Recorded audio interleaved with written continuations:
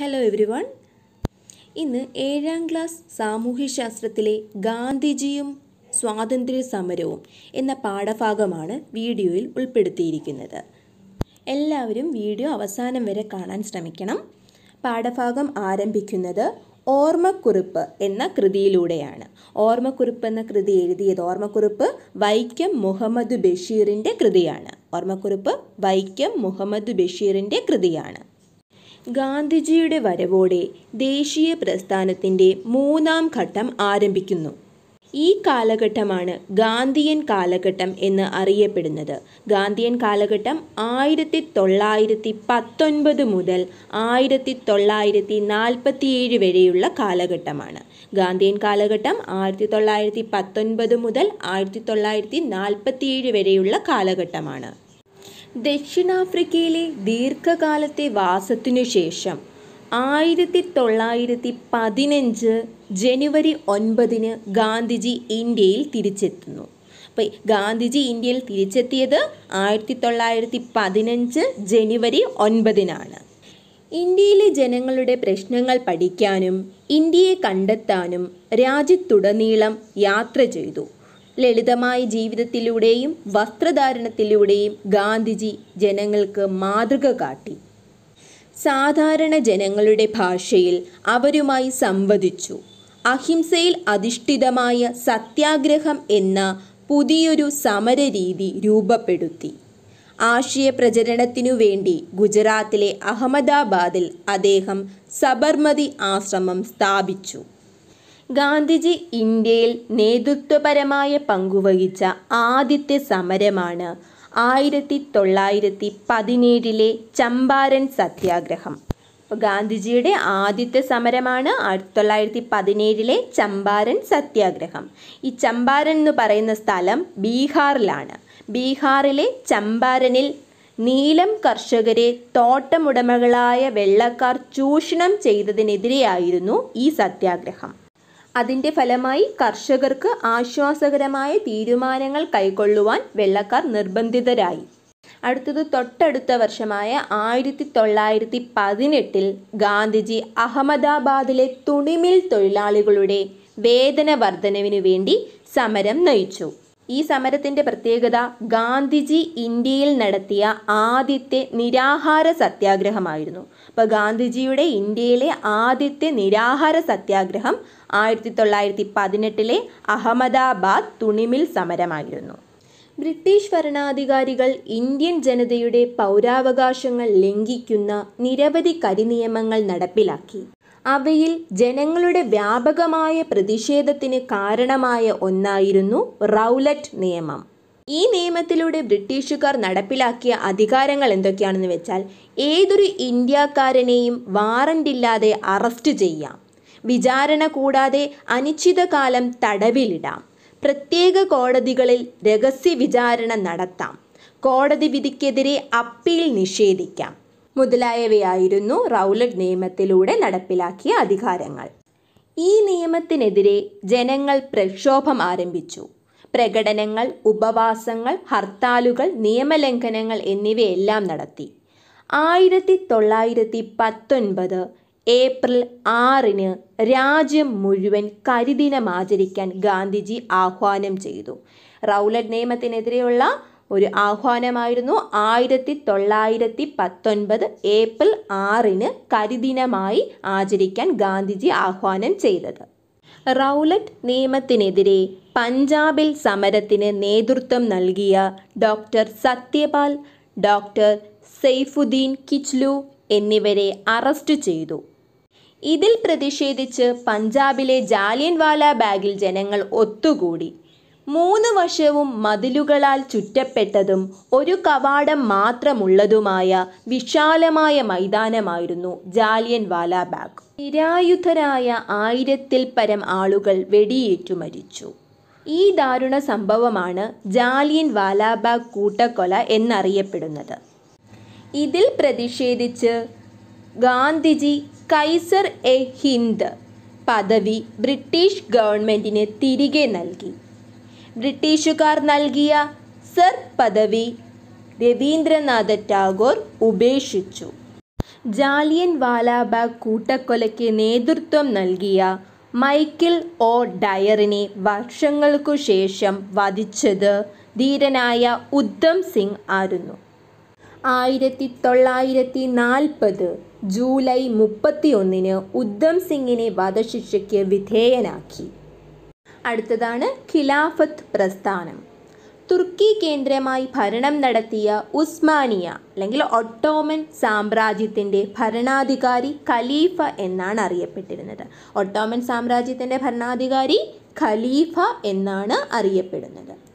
ലോക മുസ്ലിങ്ങളുടെ ആത്മീയ നേതാവ് കൂടിയായിരുന്നു ഖലീഫ. ഒന്നാം ലോക യുദ്ധത്തിൽ ബ്രിട്ടന്റെ എതിർ സഖ്യത്തിലായിരുന്നു തുർക്കി സാമ്രാജ്യം. യുദ്ധത്തിൽ ഖലീഫയ്ക്ക് എതിരായ ബ്രിട്ടീഷ് നടപടികളിൽ പ്രതിഷേധിച്ചാണ് ഖിലാഫത്ത് പ്രസ്ഥാനം രൂപം കൊണ്ടത്. ഖിലാഫത്ത് പ്രസ്ഥാനത്തിന്റെ ഇന്ത്യയിലെ നേതാക്കൾ മൗലാന ഷൗക്കത്ത് അലിയും മൗലാന മുഹമ്മദ് അലിയുമായിരുന്നു. ഇവർ അലി സഹോദരന്മാർ എന്നാണ് അറിയപ്പെടുന്നത്. ഇന്ത്യയിൽ ഖിലാഫത്ത് ദിനമായിട്ട് ആചരിച്ചത് ആയിരത്തി തൊള്ളായിരത്തി പത്തൊൻപത് ഒക്ടോബർ പതിനേഴിനാണ്. അത് നിസ്സഹകരണ പ്രസ്ഥാനം. ഗാന്ധിജിയുടെ നേതൃത്വത്തിൽ ഇന്ത്യൻ നാഷണൽ കോൺഗ്രസ് നടത്തിയ ബഹുജന സമരമായിരുന്നു നിസ്സഹകരണ സമരം. ആയിരത്തി തൊള്ളായിരത്തി ഇരുപതിൽ കൽക്കത്തയിൽ ചേർന്ന ഇന്ത്യൻ നാഷണൽ കോൺഗ്രസിന്റെ പ്രത്യേക സമ്മേളനത്തിലാണ് നിസ്സഹകരണ സമരത്തിന് അംഗീകാരം നൽകിയത്. അടുത്തത് മലബാർ കലാപം. കേരളത്തിലെ ബ്രിട്ടീഷ് വിരുദ്ധ കലാപങ്ങളിൽ ശ്രദ്ധേയമായ ഒന്നായിരുന്നു ആയിരത്തി തൊള്ളായിരത്തി ഇരുപത്തിയൊന്നിലെ മലബാർ കലാപം. കുടിയൊഴിപ്പിക്കൽ അന്യായമായ നികുതി പിരിവ് ഉയർന്ന പാട്ടം തുടങ്ങിയ ദ്രോഹ നടപടികൾ ജന്മിമാരിൽ നിന്ന് മലബാറിലെ കർഷകർ നേരിട്ടു. ജന്മിമാരുടെ കർഷകദ്രോഹ പ്രവർത്തനങ്ങൾക്ക് ബ്രിട്ടീഷുകാർ പിന്തുണ നൽകി. ഈ സമയത്താണ് കേരളത്തിൽ നിസ്സഹരണ പ്രസ്ഥാനവും ഖിലാഫത്ത് പ്രസ്ഥാനവും സജീവമായത്. ഗാന്ധിജി മൗലാന ഷൗക്കത്ത് അലിയും ഒന്നിച്ച് കേരളം സന്ദർശിച്ചു. ഖിലാഫത്ത് കമ്മിറ്റി സെക്രട്ടറിയായ വടക്കേ വീട്ടിൽ മുഹമ്മദിനെ അറസ്റ്റു ചെയ്യാൻ ശ്രമിച്ചതാണ് മലബാർ ലഹളയ്ക്ക് പെട്ടെന്നുള്ള കാരണം. മലബാർ കലാപത്തിൽ അറസ്റ്റു ചെയ്യപ്പെട്ട തൊണ്ണൂറോളം കലാപകാരികളെ തിരൂർ റെയിൽവേ സ്റ്റേഷനിൽ നിന്നും ഒരു ഗുഡ്സ് വാഗണിൽ അതായത് ഒരു ചരക്കു തീവണ്ടിയിൽ കുത്തി നിറച്ച് കോയമ്പത്തൂരിലേക്ക് കൊണ്ടുപോയി. തീവണ്ടി കോയമ്പത്തൂരിനടുത്ത് പോത്തന്നൂരിലെത്തി വാഗൺ തുറന്നു നോക്കിയപ്പോൾ എഴുപത്തിരണ്ടു പേർക്ക് ജീവൻ നഷ്ടമായി. ഈ ദാരുണ സംഭവമാണ് വാഗൺ ട്രാജഡി എന്നറിയപ്പെടുന്നത്. വാഗൺ ട്രാജഡി നടന്നത് ആയിരത്തി തൊള്ളായിരത്തി ഇരുപത്തിയൊന്ന് നവംബർ പത്തിനാണ്. ഉത്തർപ്രദേശിലെ ചൗരി ചൗര ഗ്രാമത്തിൽ ബ്രിട്ടീഷ് ഭരണാധികാരികളുടെ ദുഷ്ചെയ്തികൾക്കെതിരെ ആയിരത്തി തൊള്ളായിരത്തി ഇരുപത്തിരണ്ടിൽ കർഷകർ സംഘടിച്ചു. മൂവായിരത്തിലധികം വരുന്ന നിരായുധരായ കർഷകരുടെ ജാഥയ്ക്ക് നേരെ പോലീസ് വെടിവെച്ചു. കോപാകുലരായ ജനങ്ങൾ പോലീസ് സ്റ്റേഷൻ അഗ്നിക്കിരയാക്കി. ഇരുപത്തിരണ്ട് പോലീസുകാർ കൊല്ലപ്പെട്ടു. ഈ സംഭവം അഹിംസാ സമര തത്വങ്ങൾക്ക് വിരുദ്ധമായതിനാൽ നിസ്സഹരണ സമരം പൂർണമായി നിർത്തിവെക്കാൻ ഗാന്ധിജി തീരുമാനിച്ചു. അടുത്തത് വൈക്കം സത്യാഗ്രഹം.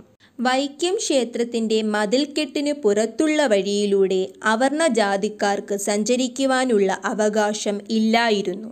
ഈ വഴി എല്ലാ ജാതിക്കാർക്കും തുറന്നു കിട്ടണം എന്നാവശ്യപ്പെട്ടുകൊണ്ട് നടന്ന സമരമാണ് ആയിരത്തി തൊള്ളായിരത്തി ഇരുപത്തിനാലിലെ വൈക്കം സത്യാഗ്രഹം. ഇതിന്റെ ഭാഗമായി മന്നത്ത് പത്മനാഭന്റെ നേതൃത്വത്തിൽ നടന്ന സവർണ ജാഥ പ്രസിദ്ധമാണ്. ആയിരത്തി തൊള്ളായിരത്തി ഇരുപത്തി ഒൻപതിൽ ലാഹോറിൽ നടന്ന ഇന്ത്യൻ നാഷണൽ കോൺഗ്രസിന്റെ സമ്മേളനം ഗാന്ധിജിയുടെ നേതൃത്വത്തിൽ നിയമലംഘന പ്രസ്ഥാനം തുടങ്ങാൻ തീരുമാനിച്ചു. ജനവിരുദ്ധമായ ബ്രിട്ടീഷ് നിയമങ്ങളെ ലംഘിക്കുക എന്നതായിരുന്നു നിയമലംഘന പ്രസ്ഥാനത്തിന്റെ ലക്ഷ്യം. എഴുപത്തിയെട്ട് അനുയായികളുമായി ഗാന്ധിജി സബർമതി ആശ്രമത്തിൽ നിന്ന് യാത്ര പുറപ്പെട്ടു. മുന്നൂറ്റി എഴുപത്തി അഞ്ച് കിലോമീറ്റർ കാൽനടയായി സഞ്ചരിച്ച് ദണ്ഡി കടപ്പുറത്ത് എത്തിച്ചേർന്നു. ആയിരത്തി തൊള്ളായിരത്തി മുപ്പത് ഏപ്രിൽ ആറിന് ഒരു പിടി ഉപ്പ് ശേഖരിച്ചുകൊണ്ട് നിയമലംഘന പ്രക്ഷോഭത്തിന് ഗാന്ധിജി തുടക്കം കുറിച്ചു. ഇന്ത്യ ഒട്ടാകെ നിയമലംഘന പ്രക്ഷോഭം വ്യാപിച്ചു. അതിർത്തി ഗാന്ധി എന്നറിയപ്പെടുന്ന ഖാൻ അബ്ദുൾ ഗാഫർ ഖാന്റെ നേതൃത്വത്തിലായിരുന്നു ഇന്ത്യയുടെ വടക്കു പടിഞ്ഞാറ് പ്രദേശത്ത് സമരം നടന്നത്. കേരളത്തിൽ ഉപ്പു സത്യാഗ്രഹത്തിന് നേതൃത്വം നൽകിയവരിൽ പ്രമുഖർ കെ മാധവൻ നായരും ഇ മൊയ്തു മൗലവിയും. കണ്ണൂർ ജില്ലയിലെ പയ്യന്നൂരും കോഴിക്കോടും ഉപ്പു സത്യാഗ്രഹത്തിന്റെ പ്രധാന കേന്ദ്രങ്ങളായിരുന്നു. പയ്യന്നൂരിൽ കെ കേളപ്പന്റെ നേതൃത്വത്തിൽ ഉപ്പു നിയമലംഘനം നടന്നു. ആയിരത്തി തൊള്ളായിരത്തി മുപ്പത്തിയൊന്നിലെ Guruvayur സത്യാഗ്രഹത്തിന് K Kelappan P Krishna Pillai A K Gopalan എന്നിവർ നേതൃത്വം നൽകി. ഗാന്ധിജിയുടെ പിന്തുണയോടുകൂടി ആരംഭിച്ച സത്യാഗ്രഹം എല്ലാ ഹിന്ദുക്കൾക്കും ക്ഷേത്രപ്രവേശനം അനുവദിക്കാൻ കാരണമായി. ബ്രിട്ടീഷ് ഭരണത്തിനെതിരായി ഇന്ത്യയിലുണ്ടായ പ്രധാനപ്പെട്ട ബഹുജന സമരമായിരുന്നു കിറ്റ് ഇന്ത്യ സമരം. ആയിരത്തി തൊള്ളായിരത്തി നാൽപ്പത്തി രണ്ട് ഓഗസ്റ്റ് എട്ടിന് ബോംബെയിൽ നടന്ന അഖിലേന്ത്യാ കോൺഗ്രസ് സമ്മേളനത്തിലാണ് കിറ്റ് ഇന്ത്യ സമരം പ്രഖ്യാപിച്ചത്. പൂനെയിലെ ആഘാഖാൻ കൊട്ടാരത്തിലെ ജയിൽവാസത്തിനിടയിൽ ആയിരത്തി തൊള്ളായിരത്തി നാൽപ്പത്തി നാല് ഫെബ്രുവരി ഇരുപത്തിരണ്ടിന് കസ്തൂർബ ഗാന്ധി മരിച്ചു. ഒളിവിൽ കഴിഞ്ഞുകൊണ്ട് കിറ്റ് ഇന്ത്യ സമരത്തിന് അരുണ ആസഫ് അലി ജയപ്രകാശ് നാരായണൻ തുടങ്ങിയവർ നേതൃത്വം നൽകി. അരുണ അസഫ് അലിയെ കിറ്റ് ഇന്ത്യ സമരനായിക എന്ന് ഗാന്ധിജി വിശേഷിപ്പിച്ചു. ആയിരത്തി തൊള്ളായിരത്തി നാൽപ്പത്തിരണ്ട് ഓഗസ്റ്റ് ഒൻപതിന് ഹർത്താൽ ആചരിച്ചുകൊണ്ടാണ് കിറ്റ് ഇന്ത്യ സമരം കേരളത്തിൽ ആരംഭിച്ചത്. ഓഗസ്റ്റ് ഒൻപത് കിറ്റ് ഇന്ത്യ ദിനമായി ആചരിച്ചു വരുന്നു ഈ പാഠഭാഗത്തിൽ പരാമർശിക്കുന്ന പ്രധാന വർഷങ്ങളും സംഭവങ്ങളുമാണ് ദണ്ഡിയാത്ര ആയിരത്തി തൊള്ളായിരത്തി മുപ്പത് മലബാർ കലാപം ആയിരത്തി തൊള്ളായിരത്തി ഇരുപത്തിയൊന്ന് വൈക്കം സത്യാഗ്രഹം ആയിരത്തി തൊള്ളായിരത്തി ഇരുപത്തിനാല് കിറ്റ് ഇന്ത്യ സമരം ആയിരത്തി തൊള്ളായിരത്തി നാൽപ്പത്തി രണ്ട് നിസ്സഹകരണ പ്രസ്ഥാനം ആയിരത്തി തൊള്ളായിരത്തി ഇരുപത് ചൗരി ചൗര സംഭവം ആയിരത്തി തൊള്ളായിരത്തി ഇരുപത്തി രണ്ട് താങ്ക് യു.